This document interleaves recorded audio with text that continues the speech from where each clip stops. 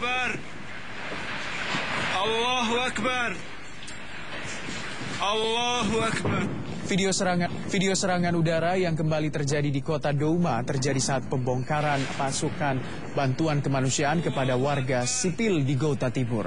Menurut Komite Palang Merah Internasional, sebuah konvoi berisi 13 truk dengan persediaan beragam keperluan termasuk paket makanan untuk 12.000 orang berupaya memasuki Douma. Namun kota terbesar di Gota Timur itu dikepung. Sebelum konvoy masuk, Palang Merah Internasional menduga Suriah sengaja menggagalkan pasokan bantuan kemanusiaan itu. Allahu Akbar. Allahu Akbar.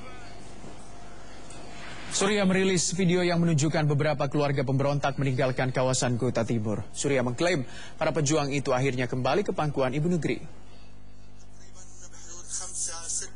TV pemerintah Surya mengatakan sekelompok pejuang oposisi dan juga keluarga mereka berhasil mencapai daerah yang dikendali- dikendalikan oleh pemerintah.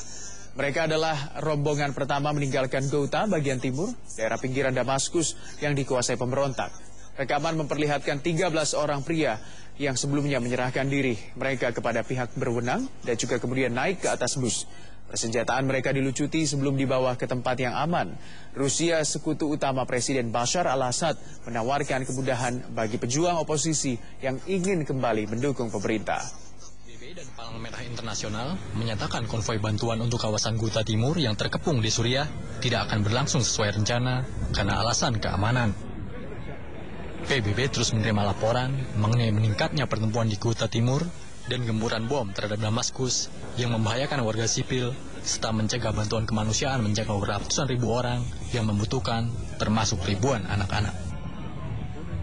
Konvoi 46 truk itu berhasil membawa sejumlah pasokan ke kawasan Duma di Kuta Timur.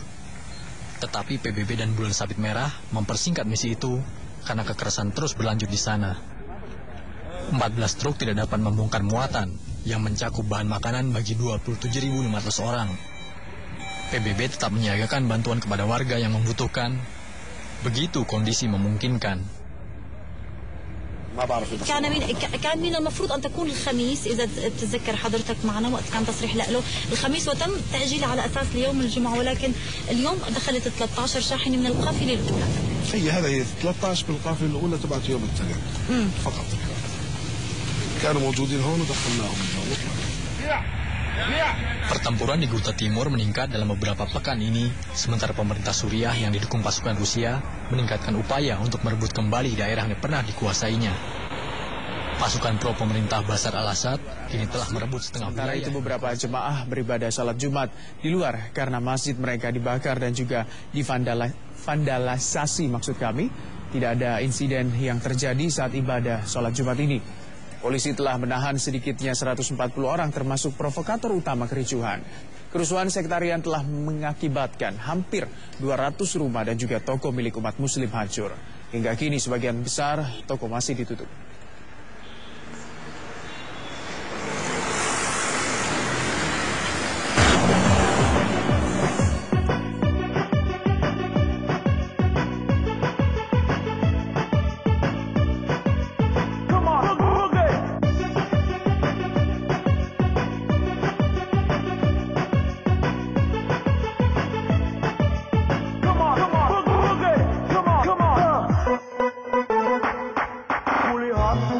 sekeliling semua membuat aku merinding. Sepertinya di sini ku teramat sangat asing Ini semua yang membuatku pusing.